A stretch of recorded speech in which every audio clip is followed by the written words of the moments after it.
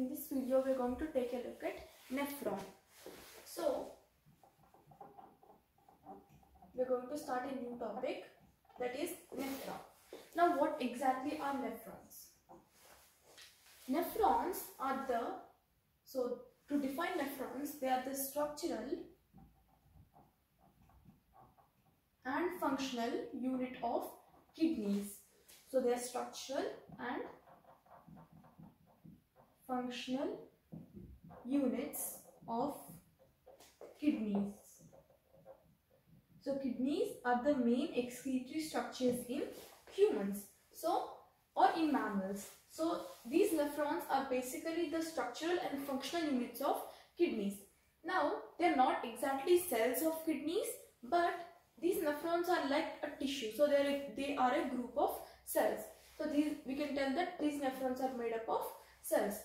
So these are found in kidneys and they are the structural and functional units. That means they give the structure to the kidney and also they are functional. They do every function what that kidney is doing. So from that small unit, the whole function, the small unit, that small unit that is nephron is performing the whole function of that kidney.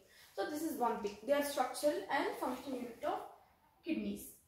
The next thing is there are thousand, sorry not thousand, one million. So there are one million nephrons per kidney. So in each kidney there are 1 million nephrons. So that's a lot. So in one kidney only there are this many nephrons which are present. Next thing, so this is the number. Coming to the length, length of that nephron. Nephron is usually 3 centimeters long. So it's 3 centimeters long. This is about the length. So these are the for the details of nephrons, the introduction to nephrons. So they are the structural and functional units of kidneys and there are 1 million nephrons per kidney and also they are 3 centimeters long. Now we are going to take up the structure of the nephron, how that nephron actually looks like.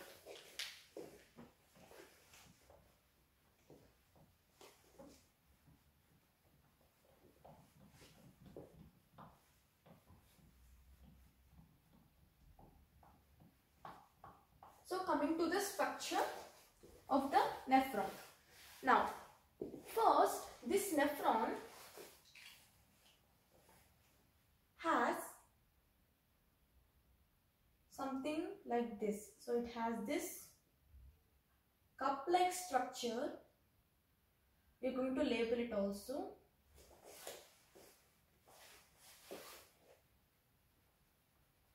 So there is this cup-like structure which is called as Bowman's capsule. We are going to lab label it later.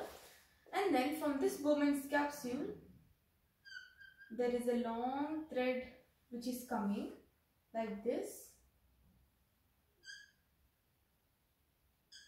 So we know that they are 3 centimeters long. So that means they are very long and they are two coiled in that kidneys. That's why we told there are 1 million of these kind of 3 centimeter nephrons per kidney. So, and then long tube from here and then there is a loop and this loop is called as loop of Henle. And the loop that is going upwards is usually thicker than this one. And there is also a name which is given to these two tubes like this and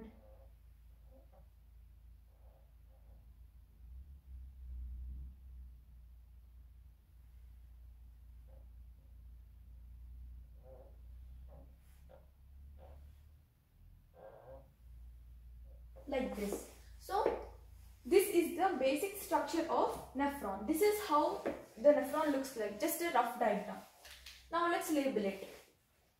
This this cup-like structure is called as Bowman's capsule. So, Bowman's capsule. This is the first part of this nephron. Now, from this, in this Bowman's capsule, there is there are some capillaries which are coming. So, so we can label it with a different color. There are some capillaries which come. So, the the capillary or the arteriole which is entering that this uh, nephron which is entering is a bit wider and that that arteriole is coiled inside this Bowman's capsule. So what what it is it's it somewhat looks like this.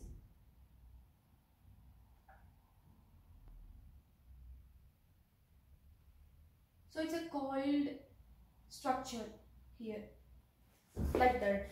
And then the arteriole which is going out of the nephron is usually thinner. So that means there is a lot of pressure there so the arteriole going here in, in, in is a bit wider and the arteriole which is coming out is a bit thinner. So we know that this is called as this cup shaped structure is called as Bowman's capsule. And this capillary network like structure this thing this tuft of capillaries is called as glomerulus. It's called as glomerulus it looks like a ball of yarn so that that's how the name comes so it's a tuft of capillaries and how are these capillaries being formed? From these arterioles. Now the arteriole which is going in, in that nephron and forming a tuft of capillaries which is called glomerulus, this capillary which is going in is called as afferent arteriole. Afferent arteriole. And here filtration happens, ultrafiltration happens and the capillary or the arteriole which is coming out which is leaving this network of capillaries is called as efferent arteriole. So this is called as afferent and this is called as efferent. That is the only difference. And one more thing you need to notice here is that which is not visible in this diagram. Here the afferent arteriole is a bit wider but the efferent arteriole is thinner and that's why there is a lot of pressure there. So this is uh, this is the glomerulus, Bowman's capsule, afferent arteriole, efferent arteriole. arteriole. Now just now we have mentioned that there is pressure and this pressure is called as glomerular filtration pressure. That is one thing. And why pressure is there? Because here afferent arteriole is wider, efferent arteriole is thin. That's why there is a lot of pressure there. That, that's why that pressure is called as glomerular filtration pressure. This is one thing. And we have looked at Bowman's capsule and glomerulus. Now coming to the next part. This, after Bowman's capsule and glomerulus, this part here is called as proximal, proximal convoluted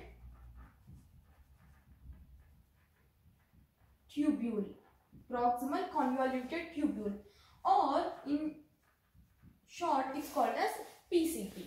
So this is the term that we give to this part which comes after glomerulus and Bowman's capsule. So this part is called as proximal convoluted tubule which is which is also called as PCT in short. Now after PCT this loop like structure. This tube which is coming down which is this tube here is called as the descending limb. Descending limb. And this tube which is going up is called as ascending limb. So we now know why are they called descending and ascending? Because here the fluid is is traveling downwards. So it's going down and then here it's again coming up. And that's why the name that's that's why the name comes. So here ascending limb and this is called as descending limb. Now if you notice carefully this ascending limb is a bit thicker than this descending limb. So here it's a bit wider and thicker than the descending limb. This is one thing we need to know. And this both, this descending limb and ascending limb, both of them are called as the loop of Henle. Loop of Henle or Henle's loop. So this is the term that we give to this whole structure. The loop is called as the loop of Henle. And loop of Henle is divided into two parts, the descending limb and ascending limb. Ascending limb. So this is descending and this is ascending limb. Now, after this loop of Henle, we have looked at Bowman's capsule glomerulus, PCT, loop of Henle. After loop of Henle, this part, this part is called as distal so distal convoluted tubule or in short it's also called as DCT. So this is the short form of this term distal convoluted tubule. Now this is called as proximal convoluted tubule that is called as distal convoluted tubule. So proximal means something which is near. So this proximal because it's near to this glomerulus and uh, Bowman's capsule. That's why it's called proximal. Distal means it's a bit, it's in a distance, so it's a bit far away. So that is one thing. And this is called PCT and that is DCT. So this is what we need to remember. After distal convoluted tubule or DCT, there is this duct which is called as collecting duct. Collecting duct. So, this is the structure of nephron. Again, let's recap. Here, this cup-shaped structure is called as Bowman's capsule and inside this Bowman's capsule are a tuft of capillaries. These tuft of capillaries are like a ball of yarn and that's why the name comes. So, the name is called glomerulus. This tuft of capillaries is glomerulus. Now, how is this glomerulus formed? By this arterioles. So the arteriole which is going in is a bit wider and that arteriole forms the tuft and then it leaves. So when it when the the arteriole which is leaving leaving out is called as efferent arteriole and it is a bit smaller and thinner and this is called efferent and that is called efferent.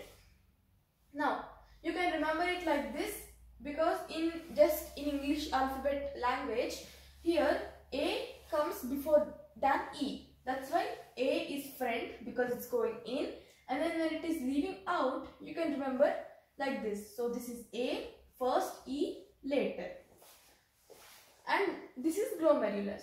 After Bowman's capsule and glomerulus comes PCT proximal convoluted tubule.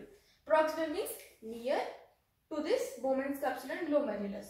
After PCT, loop of Henle comes and loop of Henle is divided into two parts descending limb and ascending limb. And here this descend sorry this ascending limb is a bit wider and thicker than this descending limb. And when after loop of Henle comes this DCT distal convoluted tubule and after that there is this collecting duct. Distal means in a distance or far away and after DCT collecting duct. So this is the whole ba the basic structure of nephron and these are the parts that they that the nephron has. Now we are going to take up some important terms related to this nephron. So we are going to write it here. Now Malpighian body Malpighian body or renal corpuscle. Renal corpuscle. This is the first term. Malpighian body or renal corpuscle corpuscle. So these both mean the same thing but what are they? What is Malpighian body? Malpighian body consists of Bowman's capsule and glomerulus. So Bowman's capsule with glomerulus. This part is called as Malpighian body or renal corpuscle. This is the first term. The next term is renal tubule. And what is the meaning of renal tubule? Renal tubule is a, the part which consists of PCT, loop of Henle, DCT and collecting duct. So this all combine to form this uh, thing that is called renal tubule. So this is the term we give to that. And Malpighian body or renal corpuscle is called it combines, so what does it have? It has Bowman's capsule and glomerulus. The Bowman's capsule and glomerulus combines to form this renal corpuscle or Malpighian body. So this is one thing. Next, we are going to take up the types of nephrons. Here we have looked at the nephron, the introduction to nephron, the structure of nephron. Now we are going to take up the types of nephrons.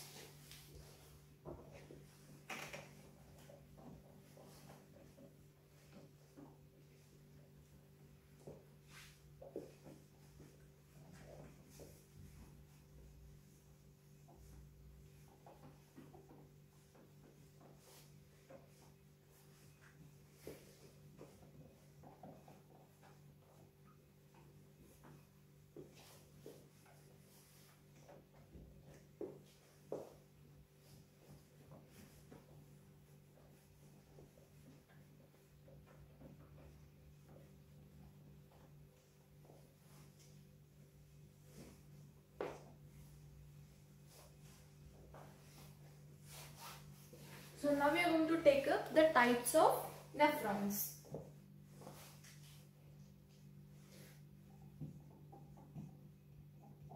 Types of nephrons. Now usually, so generally we have two types of nephrons. Two types of nephrons. The first one is called as cortical nephrons. Cortical nephrons. So this is the first category of these nephrons. Now what are cortical nephrons? For that we'll draw the structure of the nephron again because we need to understand it clearer. Now to understand this cortical nephron we have to draw the kidney. So kidney, we know that kidney has cortex and medullary part. So cortex is the outer fluid matrix like uh, the structure and Medulla has medullary pyramids, columns of Bertini. Those all things we have seen in the previous video. So that's what we are going to draw here. So here, this is, now why are we drawing this line? This line represents, it divides cortex and medulla. So this part is cortex and this lower part is medulla. So, so imagine the kidney is like this. So if you see it this way, here there are the layers of the kidney like the uh, fibrous uh, capsule, the renal fat, the renal fascia, all of those things. And then inside this is the internal structure. Here we have medulla, here we have cortex. Here all we have we have all of those uh, medullary pyramids or renal pyramids, um, columns of Bertini, etc. Uh, renal papillae, etc and then this is cortex. Here all the fluid gel like fluid is there. So here we are going to draw the or place the nephron. How are they actually present here? This is just a rough diagram. We are not going to label those parts. We are not going to draw all those like we are, we are not going to represent that loop of Henle the ascending limb the descending limb all of those. We are just going to draw the basic structure just a rough diagram. So This is in case of cortical nephrons. So here we have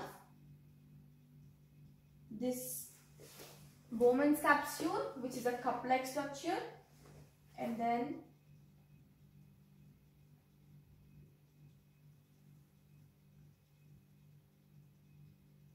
here we have PCT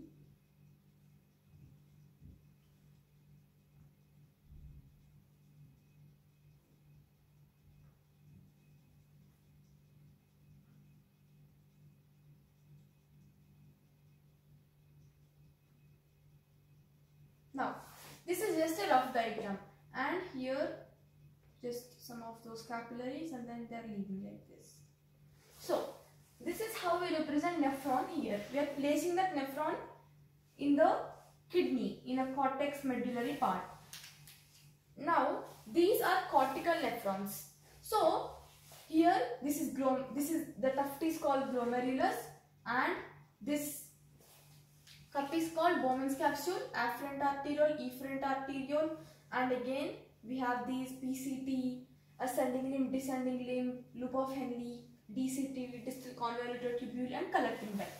Now in cortical nephrons the main part or the major part is in this cortex part. That's why they are called cortical. So cortical and cortex. So the name is a bit similar. similar. And here just some part of this nephron is present in medulla. Major part is in cortex only. After, after this we are going to uh, write the differences between cortical and the other type of nephrons. So this is the first type of nephrons that is cortical nephrons. The second type is called as, those kind of nephrons are called as juxtamedullary nephrons. Juxtamedullary nephrons. Now by the name itself we can judge this again. So again we are going to draw this kidney, cortex and medullary part. Just a rough sketch again. So here this is cortex and this is medulla. Now, here also we are going to draw the nephron.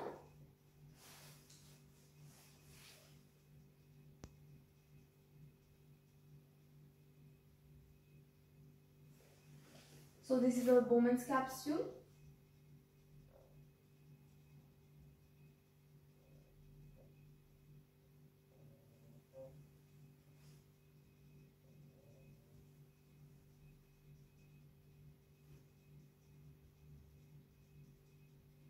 and this is a ascending and descending limb the loop of Henle or Henle's loop and then we have DCT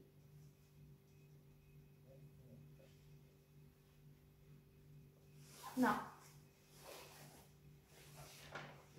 this is juxtamedullary nephron so juxtamedullary nephron somewhat looks like this so this is the collecting duct and here we have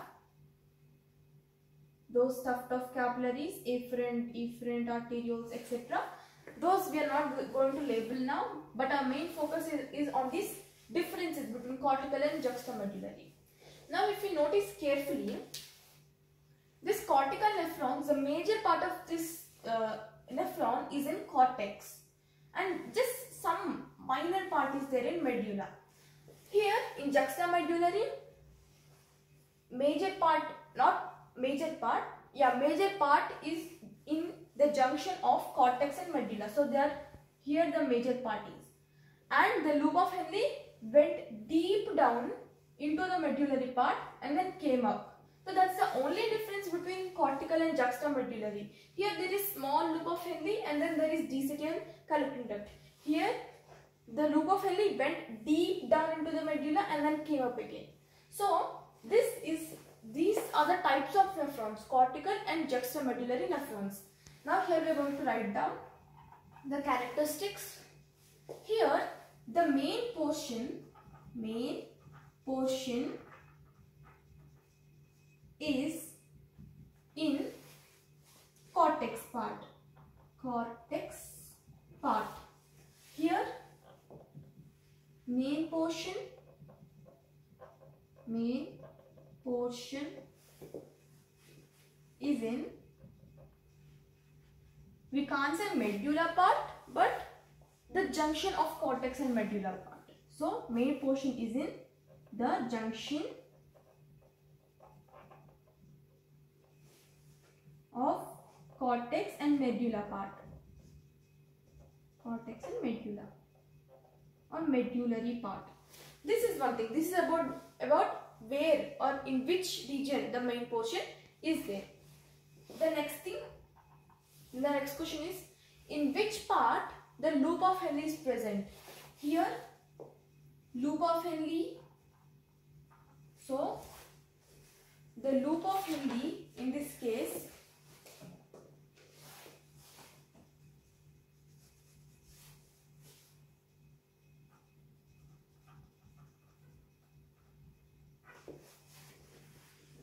is in the loop of Henle is in cortex part here. That's why they're called cortical because cort the name is similar so it sounds similar and that's why they're called cortical nephrons. The loop of Henle is in cortex part. Here loop of Henle or Henle's loop is in medulla in medullary region or part. So this is about where the Henle's loop is in. The next thing is about the percentage like in the whole body where are these like how on on how much percentage these cortical and juxtamedullary nephrons are present. Here this is the main major common type of nephron.